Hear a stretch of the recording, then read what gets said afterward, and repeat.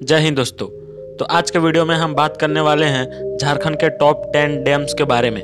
Number ten तेनू घाट dam Bokaro ज़िले के पेटरवार ब्लॉक में तेनू घाट में दामोदर नदी में स्थित है। इस डैम की हाइट 55 मीटर, यानी 180 फीट और लंबाई 5000 मीटर, यानी 5 किलोमीटर है। यह dam Bokaro steel city plant और बोकारो इंडस्ट्रियल एरिया में पानी सप्लाई के लिए बनाया गया है। Number nine Garga dam. Garga dam Bokaro से 12 किलोमीटर दूर गरगा नदी में स्थित है। और दोस्तों, यह बहुत ही प्रसिद्ध पिकनिक स्थलों में से एक है। गरगा डैम के पास पिकनिक मनाने के लिए बोकारो के अलावा विभिन्न जिलों के लोग पिकनिक मनाने के लिए आते हैं। नंबर एट केला घग डैम। केला घग डैम सिमडेगा में छिंदा नदी पर बहुत ही सुंदर बाँध है। यह सिमडेगा से चार किलोमीटर की दूरी पर स्थित है। यह डैम बहुत ही पहाड़ियों से घिर कर बना हुआ है, जो पर्यटकों को बहुत ही आकर्षित करता है। और दोस्तों, यहाँ पर मोटर वोटिंग और पैरासेलिंग की भी सुविधा है। Number seven, Konar dam. यह झारखंड राज्य में हजारीबाग ज़िले में दामोदर नदी पर एक सहायक नदी, कोनार नदी पर बनाया गया है। इस जगह में प्राकृतिक सुंदरता है और इसे एक मनोरंजन स्थल के रूप में बनाया गया है। इसकी ऊंचाई 48.77 मीटर, यानी 160 फीट, और लंबाई चार हज़ार पाँच सौ तिरपन मीटर, यानी लगभग साढ़े चार किलोमीटर का है। Number six, Patratu dam.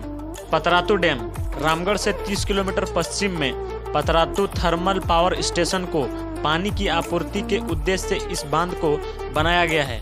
यह एक सुंदर पर्यटक स्थलों में से एक है, और पूरे साल खास करके ठंडा के मौसम में यहाँ बड़ी संख्या में लोग पिकनिक के लिए आते हैं।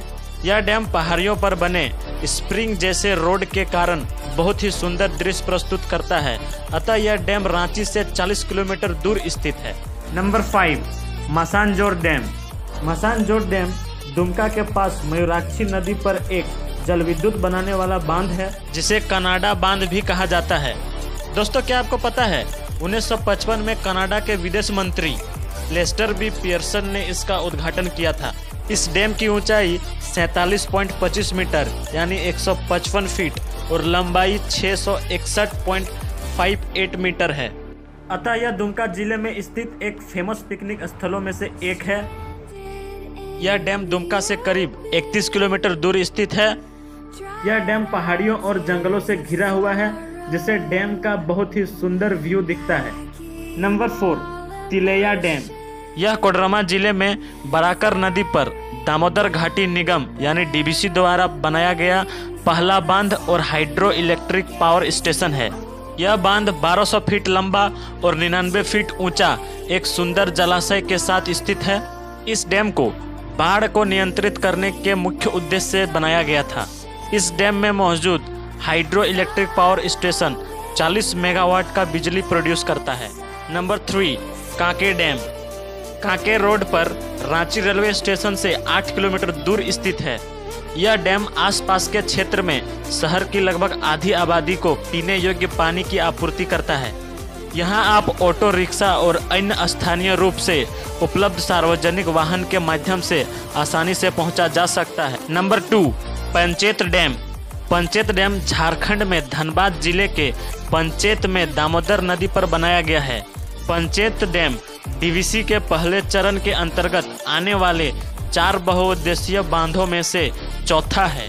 यह डैम उन्नीस सौ उनसठ में उद्घाटन किया गया था। पंचेत डैम जीटी रोड पर चिरकुंडा से 9 किलोमीटर की दूरी पर और धनबाद से 45 और आसनसोल से 20 किलोमीटर की दूरी पर स्थित है।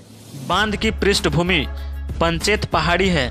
जो इस जगह को विशेष रूप से क्रिसमस और नए साल के दिनों में यात्रियों के लिए एक महान पिकनिक स्थल बनाती है। इस डैम की कुल ऊंचाई 45 मीटर और लंबाई 6,777 मीटर यानी लगभग 6.7 किलोमीटर है।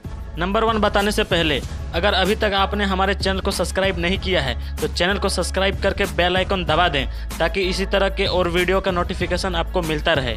Number one Maithon dam. Maithon का नाम माई का स्थान से लिया गया है, जिसका अर्थ है हिंदू देवी माँ कल्याणेश्वरी का स्थान कल्याणेश्वरी का मंदिर बड़ाकर नदी के तट पर ही डैम के पास में ही स्थित है।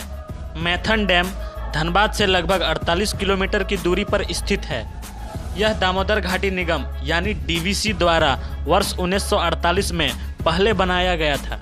यह बाँध लगभग चार यानी 4.7 किलोमीटर लंबा और लगभग 50 मीटर, यानी 165 फीट ऊँचा है।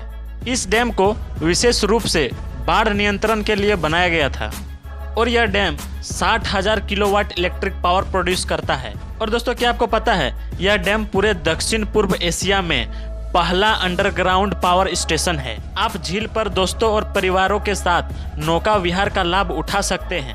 अतः यह टूरिस्ट के लिए पिकनिक मनाने के लिए बहुत ही बढ़िया पर्यटक स्थल है। और आप पास में ही माँ देवी कल्याणेश्वरी के प्राचीन मंदिर के दर्शन भी कर सकते हैं। अतः यहाँ पर वेस्ट बंगाल और झारखंड से बहुत ही बड़ी संख्या में पर्यटक पिकनिक मनाने के लिए और घूमने आते हैं। तो दोस्तों, कैसी लगी आपको ये वीडियो? अगर वीडियो अच्छी लगी हो तो अपने फ्रेंड्स के साथ शेयर कर दें। मिलते हैं नेक्स्ट वीडियो में। तब तक के लिए जय हिंद।